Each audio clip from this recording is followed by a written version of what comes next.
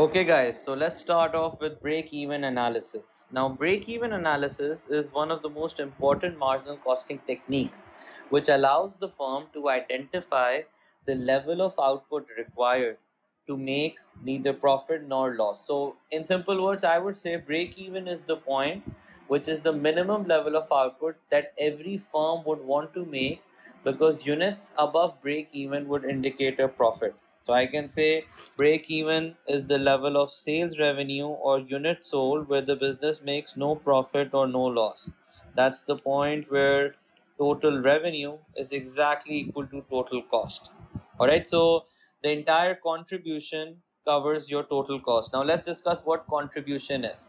Another important marginal costing concept is contribution. Contribution is basically the difference between selling price and variable cost. So contribution is the money that is left with the firm after it has paid off its variable cost and the firm will use this contribution to cover fixed cost and the remainder becomes its profit. Alright, so we can also say that contribution per unit, if I look at it in terms of a, of a single unit, is selling price minus variable cost right? So selling price per unit minus variable cost per unit. That's your contribution per unit. So once the firm knows its contribution it would know that it needs to use this money to pay off its fixed cost and the remainder becomes its profit. So i would say that in order to calculate profit under marginal costing we can say the following. Profit is equal to contribution per unit how much do you save or earn on one single unit multiplied by the number of units that gives you your total contribution minus fixed cost. This would show the level of profit that a firm can make at different levels of output. All right so if a firm knows its contribution per unit and its fixed cost, so it can easily measure that how change in units will bring about a change in profit. Okay, so we can link output with profit over here. Now, in order to calculate the break-even point, we can use these two methods, the unit contribution method and the contribution to sales ratio method.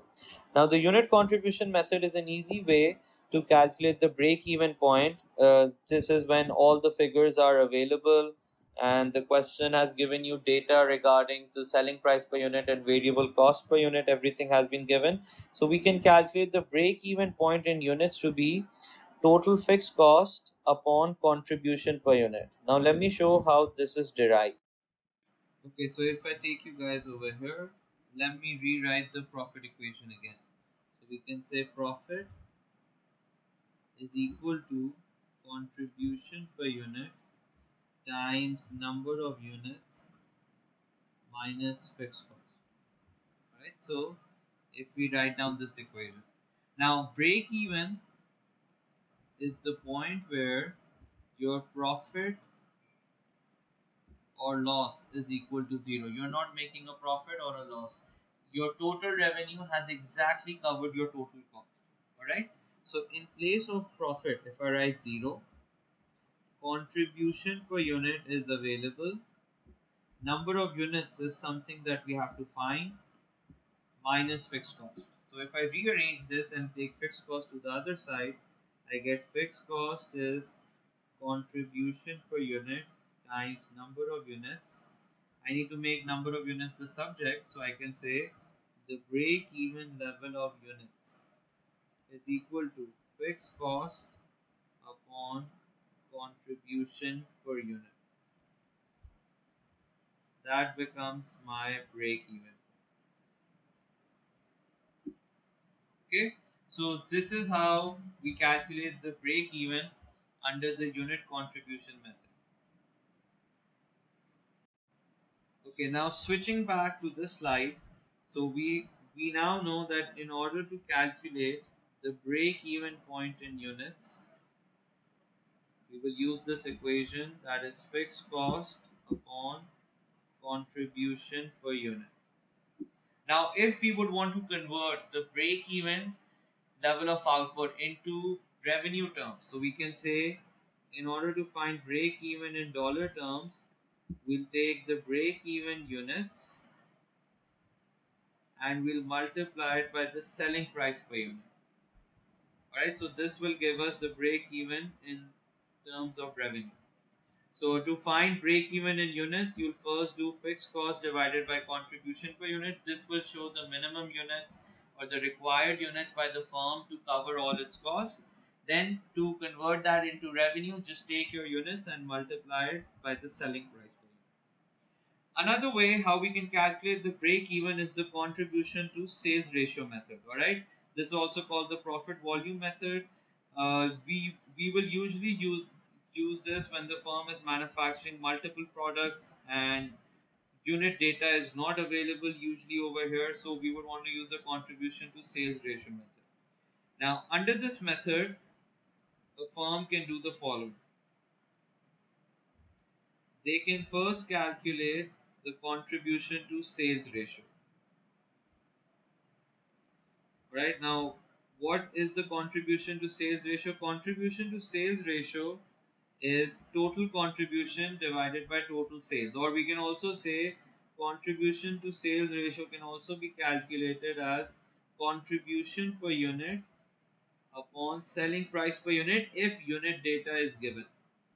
All right multiplied by 100 now this shows that for every dollar worth of sales how much does the firm save as contribution so for every one dollar of sale how much does the firm generate as contribution. So the rest would become its variable cost. So for example, if the CS ratio is 30%, I can easily say that 70% of every dollar of sale has been used to pay off my variable cost and 30% is what is left behind with the firm as contribution. So under the contribution to sales ratio method, you can find the break even point as fixed cost divided by, by CS ratio. This will give us break even in dollar terms. Alright, so we can we can directly calculate the break even point in dollar terms as fixed cost divided by CS ratio. So remember in the earlier slide we we first calculated break even in units and then we moved on to break even in dollar terms. But if if we have the CS ratio, we can directly calculate the break even in dollar terms over here as fixed cost divided by the CS ratio. Alright, I will summarize up all these equations at the end. Alright, the next concept, what is margin of safety? Let's discuss that. So if I take you guys over here, margin of safety is the difference between actual sales and the break even level of sales. So margin of safety is basically the excess output that you would make above the break even point. Remember break even point shows the minimum level of units I need to make just to cover all my cost and achieve zero profit. Margin of safety is measuring the region that I produce above the break even point. So that can indicate to a management that how far can the sales fall before the business will move into the loss region. Alright, so According to this, margin of safety is also a measure of business risk. The best example would be that during COVID, most businesses faced a decline in sales. So margin of safety would help them assess their, their business risk that how much of a sales decline can they bear before they enter into a loss region. So if a firm, let's say if I had two firms over here, I had firm A versus firm B. Firm A has a high margin of safety, firm B has a low margin of safety. So what I can say is firm A has low business risk because it can bear a greater decline in sales before it starts entering the loss region. But firm B, because it has a low margin of safety, very soon if the sales continue to decline, it will enter the loss region. So firm B actually has a high business risk. So margin of safety is also a measure of your business risk and it is calculated as actual or achievable sales minus the break even point. We can also convert margin of safety into percentage terms if we look at it like this. So we can say margin of safety is in percentage terms is margin of safety in units upon your sales units. So if I were to write it over here, margin of safety in units was actual output minus break even output. So if I were to convert margin of safety into percentage terms, I would say margin of safety units upon the sales units into 100. This would indicate us that what percent of sales can decline before we enter the loss region. And finally, I can also find margin of safety in dollar terms. That can be done as follows. Margin of safety units multiplied by the selling price again. This would give me margin of safety in dollar terms or in dollar terms how much can my sales take a hit before I enter the loss region. Alright, and as we have discussed earlier, in order to calculate any level of profit, we can just use this equation contribution per unit into number of units minus fixed cost. Now let me summarize up all these equations.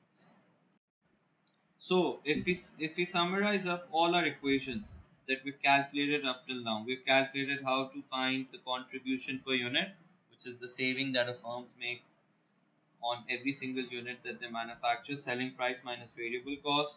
To find any level of profit, you can use this equation contribution per unit multiplied by number of units minus fixed cost. Even for any level of target profit as well, we can use this equation. And I will use that in some questions that will follow after this video. To find the CS ratio, the firm will use contribution per unit upon selling price per unit. CS ratio is a measure of that on every dollar of sale, how much do we earn as contribution? To find the break even point using the unit contribution method, just use fixed cost divided by contribution per unit. To convert that into revenue, you can use break even in units into selling price. Or if you're using the profit volume method, you can find fixed cost upon CS ratio, an alternative way to find the break even in, in your dollar terms. And we just calculated the margin of safety so the margin of safety in units shows the actual output minus break-even output.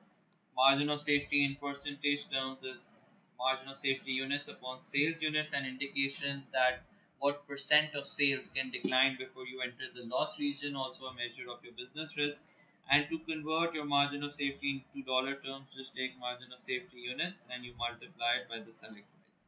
All right so these are some useful equations that we will use in different questions. Alright, so in the next video, I'm going to cover the break-even chart and show how that chart should look like and how we should draw this chart on the exam.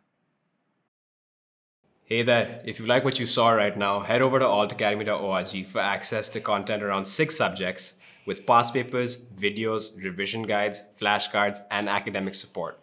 All of this is going to make sure that you're completely set for your A-levels. So I'll see you there on the platform.